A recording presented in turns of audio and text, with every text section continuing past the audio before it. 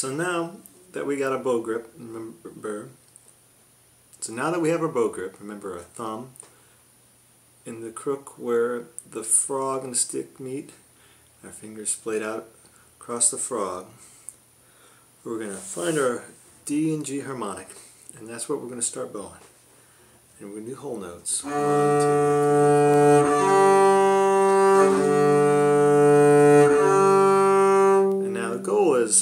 Notice how I'm using my entire arm. I'm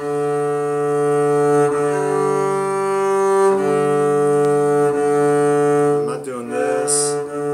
I'm not just moving this part of my arm. I'm not doing just this. I'm using my shoulder blade, my collarbone. It's an entire arm movement. The bow is just one giant extension of your arm.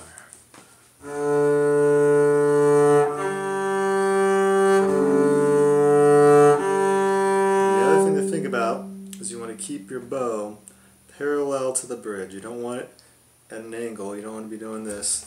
Back up here a little bit. You don't want to be doing this. You want, straight you want to be coming straight across.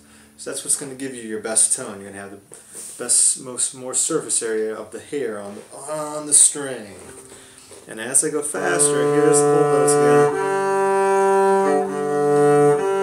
It's the same motion, it's just going to get smaller and smaller.